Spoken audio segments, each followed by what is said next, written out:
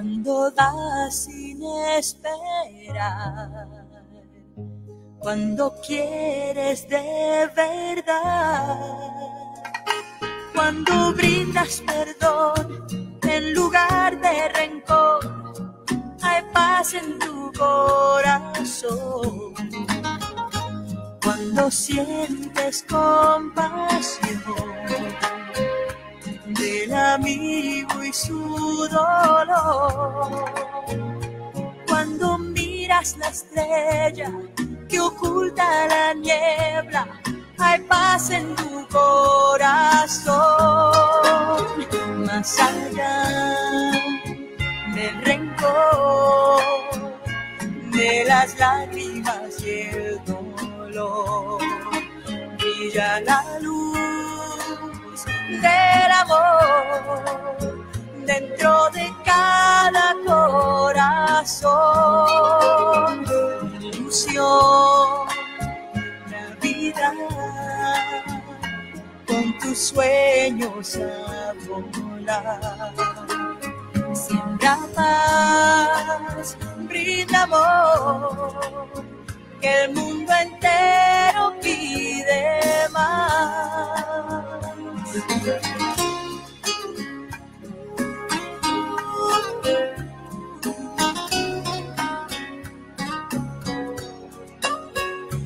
Cuando brota una oración, cuando aceptas el error, cuando encuentras lugar para la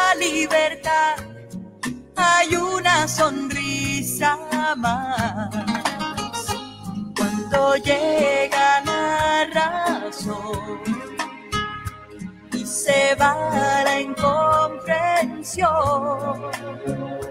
cuando quieres luchar por un ideal, hay una sonrisa más.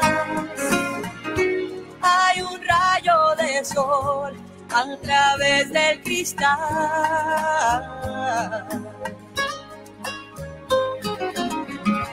Hay un mundo mejor cuando aprendes a amar.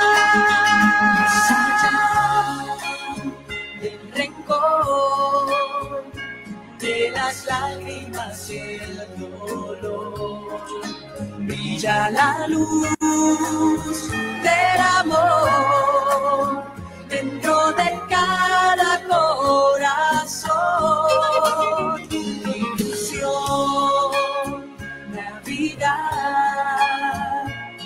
Tus sueños a volar.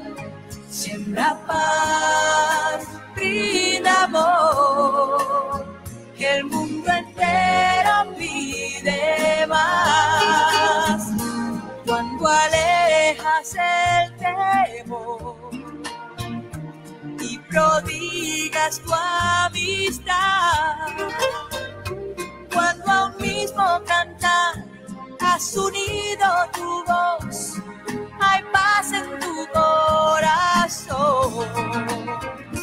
Cuando buscas con ardor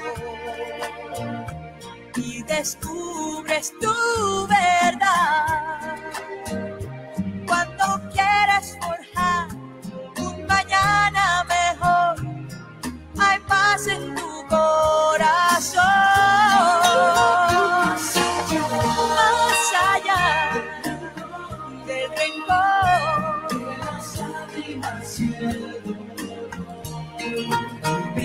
La luz del amor dentro de cada corazón. Ilusión, Navidad, con tus sueños a volar,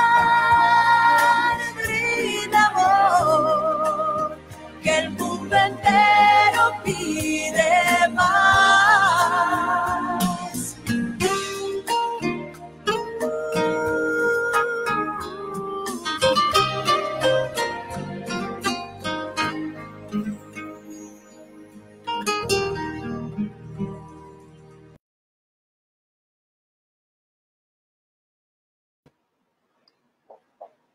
Muy buenas tardes, tengan cada uno de ustedes. Hoy miércoles 23 de diciembre y después de esa magnífica interpretación de introducción al programa de hoy, queremos desearle por adelantado una feliz Navidad aquí desde su programa Dejemos Huella en su medio Voces por Media Calle.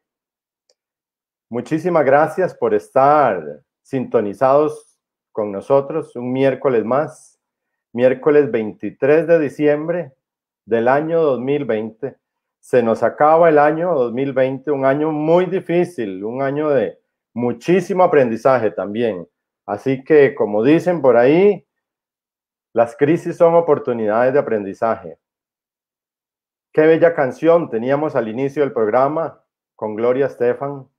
Pero ahí, búsquese su cafecito, búsquese su tecito, su fresquito, que esta tarde tenemos un programa lindísimo, un programa de reflexión, de aprendizaje, donde le invito a que usted se conecte con nosotros, publique en sus redes sociales este programa de 23 de diciembre y que también haga sus comentarios, haga sus preguntas Debo de disculpar a mi compañero Marco Navarro, que hoy por compromisos laborales no me puede acompañar, pero este, aquí estamos, aquí estamos juntos, aquí estamos para que este, podamos, como lo hemos dicho desde el inicio de nuestras transmisiones, aprender juntos, colaborar juntos con comentarios, crecer y caminar para poder dejar huella, que el nombre de nuestro programa Dejemos Huella sea una realidad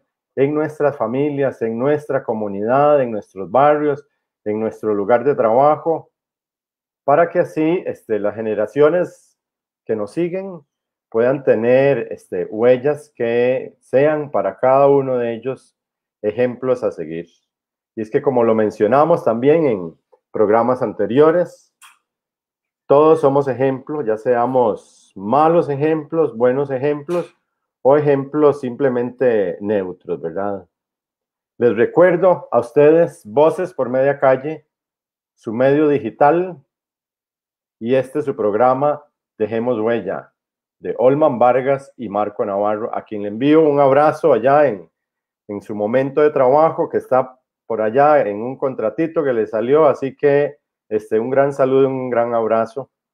Y es que hemos estado durante este mes de diciembre, si usted lo recuerda, hemos estado reflexionando, hemos estado conversando sobre el adviento, pero en una forma más práctica, una forma menos religiosa, sin desacreditar el aspecto espiritual y religioso de la época. Y usted recuerde que a esta mini temporada navideña le pusimos hacia Belén sin restricciones. Y estuvimos desde el puro inicio, iniciamos con todo lo que pudo ser el camino de los magos de Oriente hacia Belén, donde fueron anunciados por medio de una estrella que precisamente esta semana este, hubo un fenómeno que hace unos 800 años no se veía en el planeta, que se le ha llamado también la estrella del niño, la estrella de Belén. Pues los que tuvimos oportunidad de observarlo en esta semana es algo similar a lo que vivieron los magos de Oriente en el anuncio que se les dio sobre el nacimiento de Jesús. Fue un fenómeno celeste muy similar al que logramos ver durante esta semana. Así que usted que pudo ser testigo de ese fenómeno en esta semana, Puede imaginarse los magos cuando fueron anunciados de que el Mesías iba a nacer. Y vimos en un resumen muy, muy corto, y no quiero cansarles, pero es necesario que lo hagamos en esta tarde, como ellos tuvieron que atravesar por una ruta en camellos bajo las inclemencias del tiempo, atravesando el desierto, con noches fríísimas y posiblemente hasta con tormentas de arena en ciertas eh, horas de la mañana o de la tarde, alrededor de más de 1500 kilómetros, porque esos magos de Oriente vivían alejados de Belén. Esa fue nuestra primera cita con hacia Belén sin restricciones.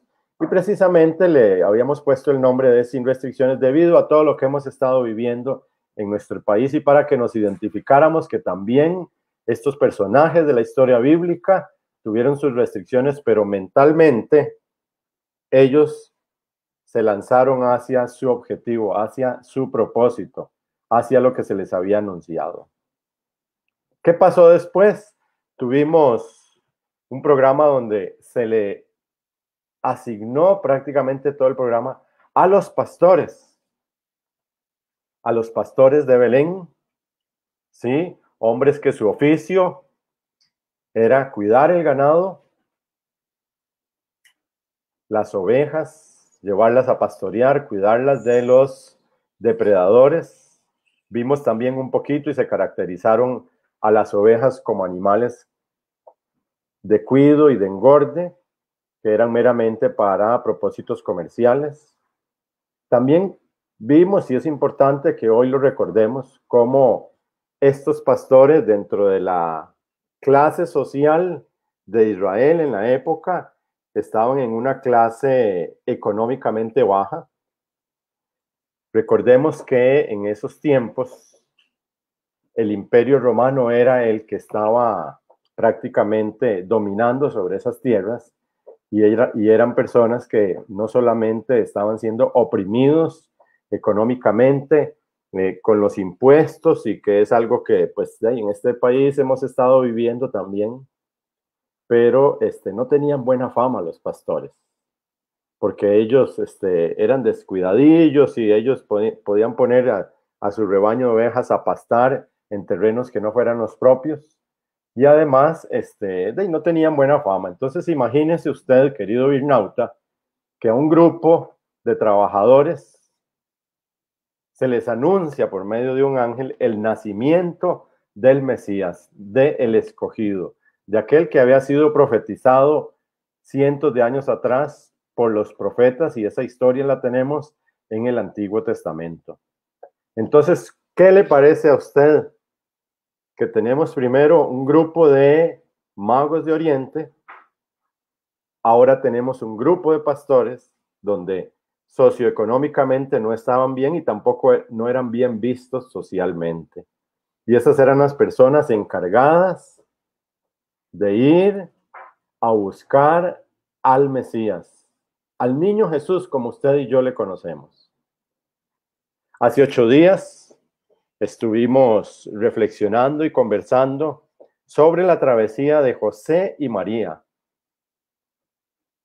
Y permítame tomar algunos minutos porque en esta época se habla mucho del nacimiento, de la natividad. En nuestros hogares se hacen los famosos pasitos, no sé si usted recuerda, el pasito, el portal, las imágenes representativas del nacimiento de Jesús. Pero se habla muy poco de José. Y aquí este, quiero tomarme unos minutos porque es importante que el anuncio profético acerca del nacimiento de Jesús se dice que era del linaje de David. Y quien pertenecía al linaje de David era precisamente José. Entonces, ¿qué pasa? E, en un asunto muy civil, y quiero tomar mi tiempo para que este, lo reflexionemos. José tiene que ir porque hay un censo que se está haciendo y ellos, como ciudadanos, él de Belén, necesitaba ir a la ciudad a empadronarse, él y su esposa María. Para esos tiempos narra el Evangelio que es cuando ellos viajan pero José inicialmente, dicen algunos historiadores y algunos especialistas en la parte esta de interpretación bíblica, que él iba a ir solo. Él no necesariamente tenía que llevar a María para el empadronamiento, pero como estaba cerca los días del alumbramiento, y María sabiendo con aquella fe y conociendo el anuncio que el ángel Gabriel le había hecho, dice, ah, no, yo me voy con mi esposito para Belén. Aquí no hay ninguna restricción que a mí me pueda detener.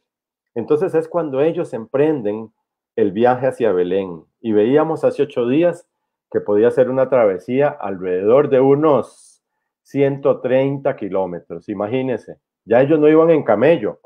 Y recordemos que los camellos que usaron los magos de Oriente si eran bestias de trabajo, dotados en su estructura fisiológica con dos jorobas que podían almacenar más de 100 litros de agua.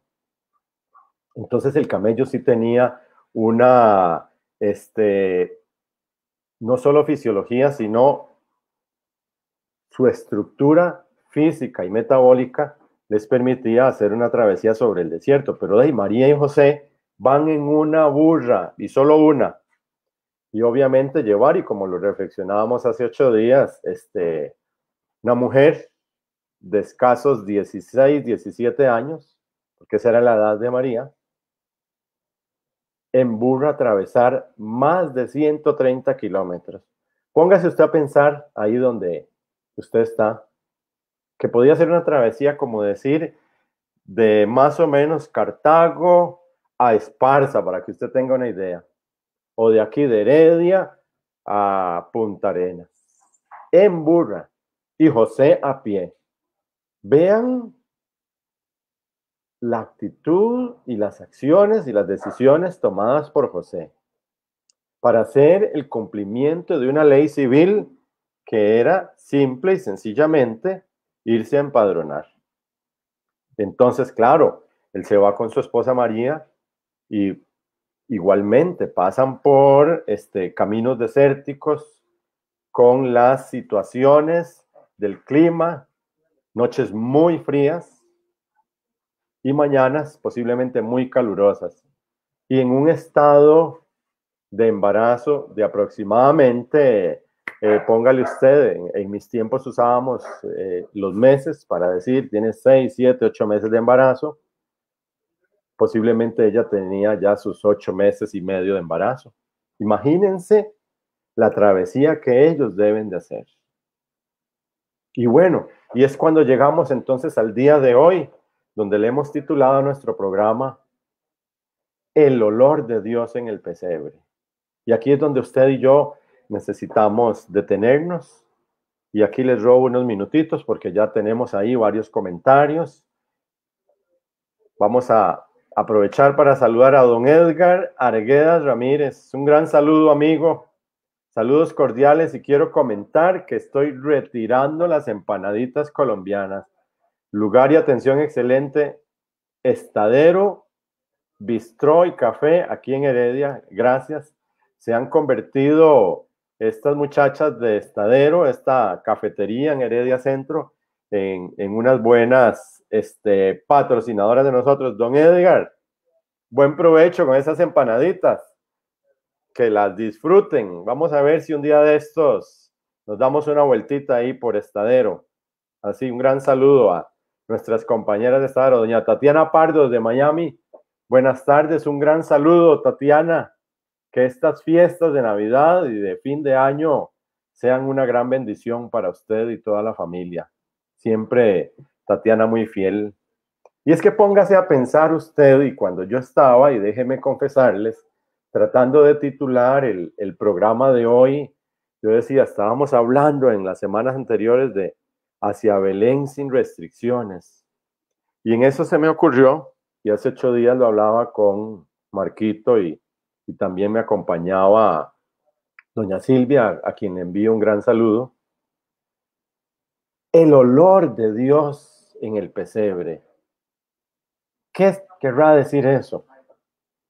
Y es que déjeme comentarle que este, precisamente sabemos y, y vea, este, la historia, la historia bíblica acerca del nacimiento de Jesús se narra solamente en dos evangelios. Ustedes y yo sabemos que hay cuatro evangelios. Pero en los únicos dos que se relata esa historia es tanto en el Evangelio de Mateo como en el Evangelio de San Lucas. Y en ambas dos hay diferentes eh, también puntos de vista, porque los que escriben, las personas que, que relatan, este, de, no se ponen de acuerdo, y menos en aquella época, ¿verdad? Pero el más, este, por decirlo de esta forma, que ha, que ha sido como un poquito más fiel y que es más detallista, es el Evangelio de San Lucas. Usted sabe que Lucas era doctor en medicina y él estaba acostumbrado a ser eh, muy investigativo y muy detallista, ¿verdad? Entonces, se nos narra en Lucas mucho del relato del nacimiento de Jesús. Y nos dice, y usted y yo lo conocemos, y eso lo conocemos desde que chiquillos nos llevan al catecismo, que cuando ellos llegaron, María y José, a Belén, no había campo en ningún hostal, en ninguna pensión, en ningún lugar de hospedaje. Y también este, no los veían posiblemente con buenos ojos. Eran unos forasteros en su propia tierra. Posiblemente venían sucios, venían sudados, venían cansados y con una mujer a punto de dar a luz. Y nos narra la historia que no encontraban lugar en ningún lugar de hospedaje. Y se habla que hay un lugar, un establo, donde les dieron alojamiento. Históricamente no podemos este, afirmarlo y, los estudiosos este, tampoco, pero arqueológicamente este, se conoce, y en esto déjeme comentarle que cuando en el, en el Evangelio nos dice que llegaron ya al fin los pastores y encontraron al niño Jesús en un pesebre, de ahí que se ha hablado un poquito de establo, porque la historia en los evangelios no nos narra de un establo. Y usted y yo, a como conocemos los establos, son este, lugares cerrados donde tienen a, ciertos animales, ahí caballos, vacas, eh, llámese también chancheras, ¿verdad? Lugares de animales donde ellos están y pasan las noches.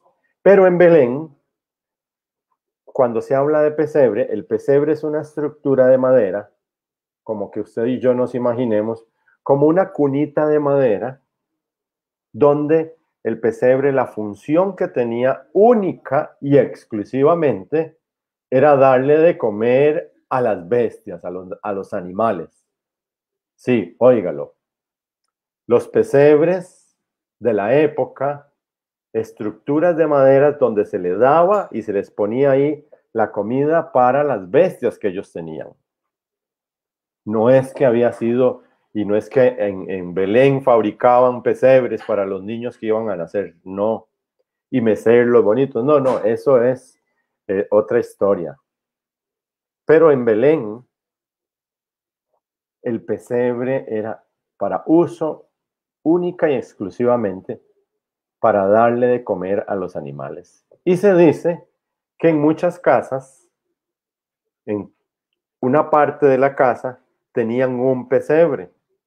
Entiéndase, el lugar para que le den de comer a los animales. Posiblemente las familias tenían ahí, porque estamos hablando de culturas muy antiguas, donde sus modos de subsistencia eran agrícolas y ganaderas también, que tenían sus animalitos en la casa que tal vez tenían por ahí una ovejita, que tal vez tenían por ahí este, un chanchito, tenían quizás algunos patos.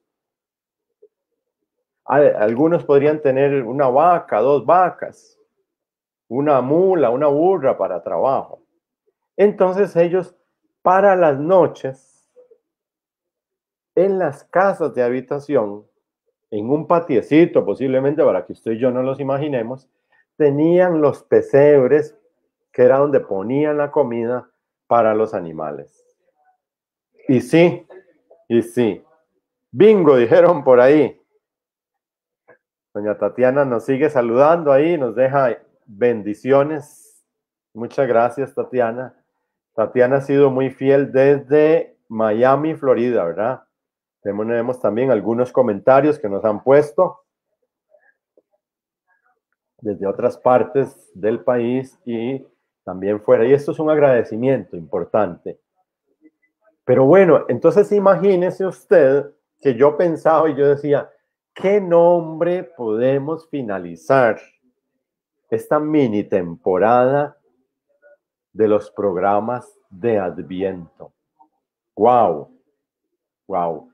Entonces es donde se empieza uno a, a leer, a investigar y a reflexionar y es donde vemos que yo decía, ¿cómo podía leer, es, olerse, perdón? ¿Cuál era el olor de un pesebre? Dígamelo usted en sus comentarios o pregúntemele. Si usted tiene, yo tengo un perrito aquí en mi casa, un French puro. Y déjeme decirle que si yo no le lavo la tacita donde él come y donde él toma agua, eso no va a oler grato, no va a tener un olor agradable. Imagínese usted entonces, porque aquí estamos, mire, eh, el olor de Dios en el pesebre, por eso se lo puse. ¿Cuál podría ser ese olor en un, en un pesebre? Donde usted le echa la comida ahí a los animales de su propiedad o con los que usted trabaja, los de las ovejas, los de tal vez los caballos o las vacas. Sí, imagínense las babas de los animales. Si muchas veces no permitimos que nuestros perritos o nuestros gatitos, que son animales muy domésticos y muy limpios, nos chupen, porque decimos, uy, no, qué asco. Imagínense ese pesebre donde aquel que fue anunciado primeramente a los magos de Oriente a través de un fenómeno celeste, donde fue anunciado a los pastores a través de un ángel, es decir, de eventos sobrenaturales, donde lo que se estaba haciendo era anunciando el cumplimiento de las profecías de lo que iba a ser el Mesías, el Salvador del pueblo de Israel. Y ya vimos los trayectos, todas esas restricciones que ellos tuvieron que vencer. Y llegan a Belén y lo único que tienen es un lugar que con certeza no se sabe si era eh, como un establo o simplemente era el patio o el lugar donde en alguna casa que le abrieron las puertas a José y María y los pusieron ahí donde tenía, les dijeron, mire, pasen adelante, pero el único campo que hay aquí es donde tenemos el pesebre, que es la única palabra que se registra en los evangelios. De un establo no se habla sino que a, través de la tradición y de los años se ha hablado de un establo, porque en los establos es donde están los, los animales que se tienen. Igual sucede con lo de los tres reyes magos, recuerdan cuando hablamos en su respectivo programa. No hay certeza que eran tres reyes magos, sino que a través de la tradición y de la interpretación, porque sí lo que se nos narra en el Evangelio es que llevaban oro, incienso y mirra. Entonces decían, uno llevaba el oro, otro llevaba el incienso y el otro llevaba la mirra. Entonces de ahí tenían que ser tres, pero no hay certeza de que eran tres. Muy interesante porque tampoco hay certeza de que era un establo, sino que era un lugar donde había un pesebre. Y lo repito porque es importante para que podamos nosotros, usted y yo, reflexionar sobre el olor de Dios en el pesebre. El lugar donde le daban de comer a las bestias, a los animales. ¿Cómo podía oler ese? Y no fue que ellos, las personas que le dieron alojamiento a José y María, habían recibido este, un WhatsApp y les habían dicho, o un correo electrónico y les habían dicho, mire, este, le mandó el WhatsApp ahí José, Mire, don Francisco, llegamos pasado mañana a las 7 de la noche para que nos saliste un cuartito. No, tampoco fue que recibieron un correo electrónico. Ellos llegaron a la aldea de Belén a buscar dónde alojarse. Y el lugar donde les dieron alojamiento posiblemente era alguna casa de unos buenos samaritanos, unos buenos prójimos que donde vieron aquella mujer con aquel hombre a punto de dar a luz, les dijeron, no, pasen adelante, pero eso sí, el único lado que tenemos para ubicarlos es donde está el pesebre. De ahí que nuestros pasitos, es muy interesante. Y, verás que eh, a mí me llena de, mucha ilusión este tipo de, de, reflexiones y conversaciones, porque aquí es donde toma mucho sentido los portales que en esta época usted y yo vemos o ponemos en la casa. Y ponemos por ahí el buey y la vaca, y ponemos por ahí unas ovejitas, y ponemos por ahí ya hay otra gente que hace portales más este, amplios y entonces ya por ahí ponen eh, varios pastorcitos y por ahí hay gente hasta que, pone eh, los reyes magos, hacen fuentes y, y tienen portales hermosísimos y que son costumbres que debemos de rescatar, porque ese es el verdadero sentido de esta época, la celebración del nacimiento del niño Jesús. Y volvemos. ¿Cómo podría ser ese olor en el pesebre? Y aquí es donde viene lo magnífico de nuestra reflexión para este programa. El olor de Dios en el pesebre. Y es que reflexionemos culturalmente, antropológicamente, sociológicamente, históricamente, como usted quiera verlo, política y económicamente. Lo que esperaba el pueblo de Israel no era que su rey, que su Mesías, que su libertador naciera en un pesebre. Eso no lo esperaban ellos. Posiblemente estaban esperando un gran líder, un líder que los liberara primero del poder político de la época que era el Imperio Romano, que los liberara también de las prácticas religiosas legalistas que solo los llevaban a ser personas prácticamente esclavizadas a una ley que no les daba libertad. Porque había muchos partidos religiosos dentro del judaísmo como tal. Entonces, claro, ellos esperaban, el pueblo de Israel, un Mesías, un Salvador, pero no que naciera en un pesebre, imagínese usted, que ahí es donde empieza toda esta acción redentora, pero no es una redención solamente en el ámbito espiritual. Viene a ser una redención integral, ese olor de Dios en la sencillez, ese olor de Dios en dónde? En la pobreza, donde no hay lujos. Ahí es donde empieza entonces el gran mensaje de ese niño Jesús. Se empieza a oler una fragancia diferente. Una fragancia, permítame usar este término y lo quiero también este, aclarar. Es una fragancia contracultural. ¿Por qué? Porque usted y yo sabemos que ya conocemos la historia, que este gran líder Jesús, que este gran maestro Jesús, que este quien se va a constituir en el Salvador, tiene un mensaje poderosamente social, poderosamente espiritual de restauración de la humanidad. Y no solamente en el campo espiritual y religioso, sino en el campo de dignificar al ser humano. Pero nace en un pesebre.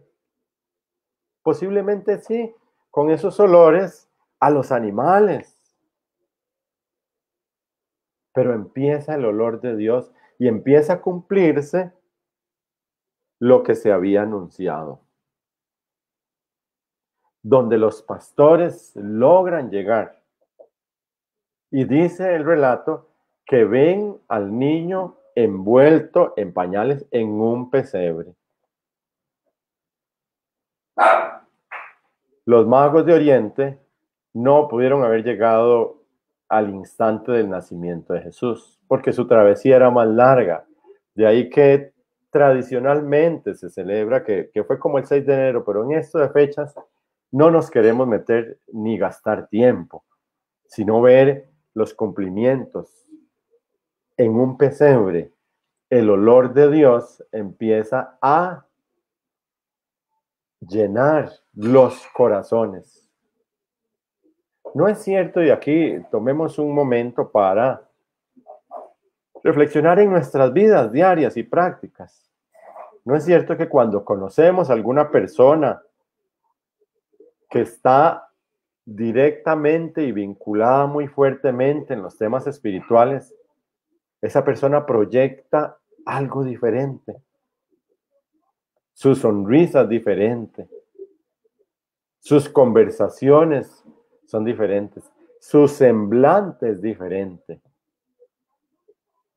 Dice un buen amigo mío, esa persona huele a Dios. Y es que veamos que entonces en el pesebre ese olor a Dios empieza a darse, porque se empiezan a cumplir profecías de más de 300 años atrás. Empieza a cumplírsele a los pastores el anuncio que se les dio, el olor de Dios en el, en el pesebre, perdón un olor agradable. En las condiciones, permítame usar el término paupérrimas que existían. Pero esas eran las escogidas para empezarle a dar una lección a la humanidad. Hoy en día, ¿qué tenemos hoy en día? Y déjeme hacer el vínculo con nuestra vida diaria. Hemos pasado por un año sumamente difícil por una pandemia. Ha sido la manera en que, independientemente de las causas que se dieron, para que aprendamos lecciones, para que seamos humildes y reflexionemos. ¿Qué ha significado este año 2020? ¿Qué se ha trabajado en nuestro fuero interno? Es muy normal escuchar para esta época que a uno le dicen en esos mensajes que tu corazón sea el pesebre donde nazca el niño Jesús, el Dios hecho hombre. ¿Qué nos ha dejado este 2020 desde lo más profundo de nuestro corazón? Hemos aprendido, hemos percibido también en medio de las dificultades ese olor de Dios como empieza a gestarse en el pesebre. Valores como la solidaridad que se han visto fuertemente. Valores como la bondad, la sinceridad, la creatividad, la espiritualidad que han venido a resurgir en estos tiempos de pandemia. Son esos síntomas de cambio, de transformación de nuestro ser interior hacia lo exterior que nos puede hacer un día como hoy que es pavoroso salir a la calle y ver el montón de gente que anda en sus compras, en sus situaciones de gasto y gasto y gasto. Y yo me pregunto, ¿qué hemos aprendido? Es que la sencillez y la humildad, donde trabaja el olor de Dios en el pesebre, debe de empezar a trabajar en nuestras vidas donde el mensaje de este niño Jesús al que celebraremos en un par de días su nacimiento es un mensaje de solidaridad, de liberación. Es un mensaje de espiritualidad y no religiosidad.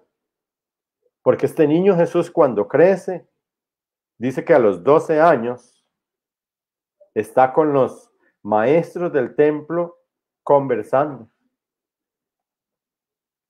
donde este niño Jesús no le teme cuando ya es grande y está ejerciendo sus oficios ministeriales, por llamarlo de esa forma, o su liderazgo, de llamar a personas que socialmente quizás no son aceptables por la mayoría, donde se junta con pecadores, con bebedores, con ladrones, donde se junta hasta con prostitutas, le dijeron. ¿Por qué? Porque le distinguía el olor de Dios en su vida, esa fragancia de un verdadero ser humano. Sí, eso se inicia y empieza a tomar lugar en el pesebre. Donde este niño Jesús nos trae un mensaje de igualdad, donde Él dignifica también el papel de la mujer en su momento, donde Él también pone de igual a igual los derechos que puedan tener porque en aquellas culturas patriarcales antiguas eran terribles. Pero ese, ese pesebre es el momento donde empieza a darse universalmente esta posibilidad para todos, para que este olor de Dios en el pesebre, este olor que nos trae redención, que nos trae liberación, que nos trae un mensaje de solidaridad, de sencillez y de humildad, de luchar por los más pobres también. Donde incluso palabras muy fuertes que este niño Jesús, siendo grande, da más adelante. Y se expresan y se dicen. Y él decía en su momento, recopilan los evangelistas, que él dice, es más fácil que pase un camello por el hoyo, por el ojo de una aguja, que un rico entre al reino de los cielos. En otro programa vamos a analizar todas estas expresiones que se recogen desde la historia bíblica y sus efectos sobre la sociedad. Pero es ahí en el pesebre, en el lugar donde le dan de comer a los animales, el único, el único espacio que tiene el Hijo de Dios para nacer como hombre.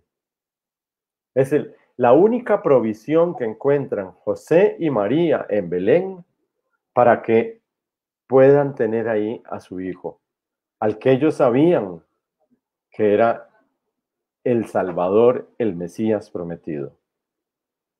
Un pesebre en una casa ajena, bajo un ambiente donde civilmente dominaban unas fuerzas políticas que oprimían al pueblo donde la religión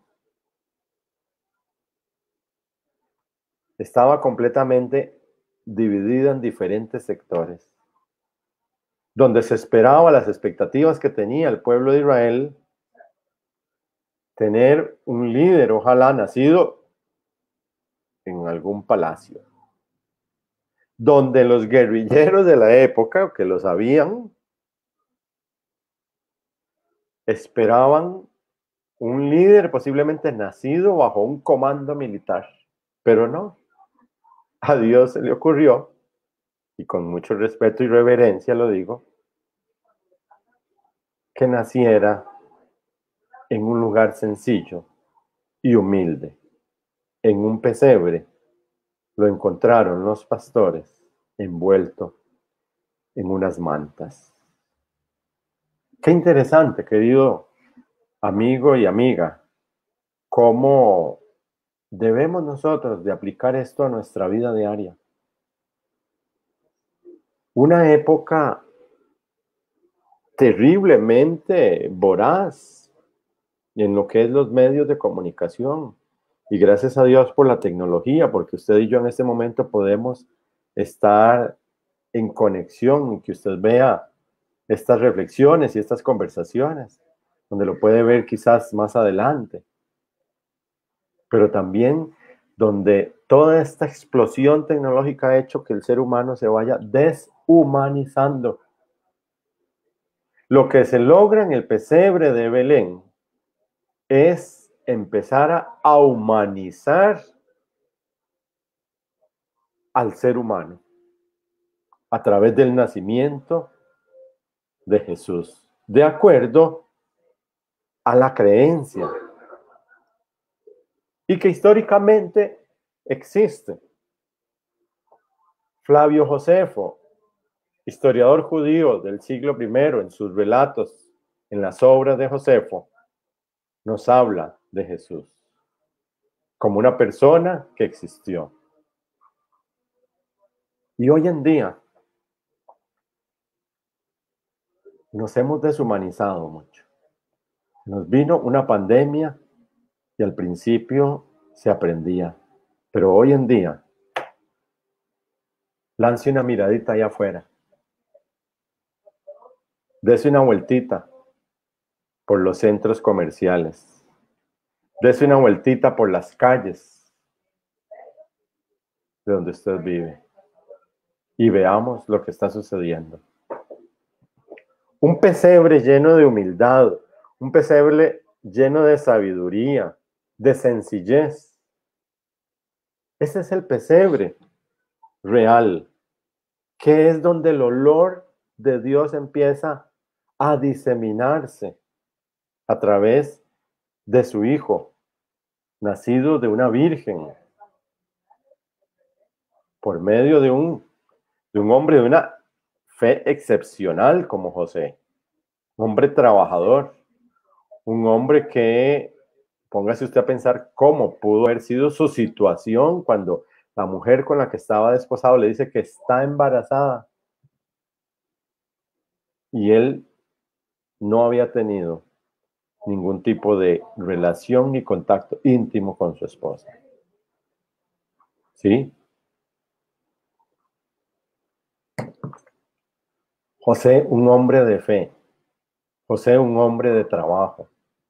José, un hombre cumplidor de las leyes civiles. Y aquí se nos llama la atención. Nosotros debemos de ser personas que cumplimos con las leyes civiles de nuestro país. No podemos obviarlas ni quebrantarlas. Es en ese pesebre donde se empieza a gestar todo lo que va a venirse a dar en un hombre que en ese momento era un niño, un hombre 100% humano, nacido en un lugar donde lo único que pudo tener fue un pesebre. ¿Qué nos dice para estos días? ¿Dónde está ese olor de Dios del pesebre en nuestras vidas? Esta tarde, que nos sirva para reflexionar, que nos sirva en este momento para que usted en su familia veamos, no es un mensaje religioso, no es una reflexión religiosa, no es una prédica, no es una enseñanza religiosa, es una simple reflexión donde sí, el elemento espiritual debe de estar presente, pero también lo que son nuestros valores. ¿Qué debemos de cambiar? ¿Será que la solidaridad simple y sencillamente se dio en los primeros meses de pandemia? ¿Será que su sensibilidad de ayuda al otro se dio solamente en los primeros meses de esta pandemia?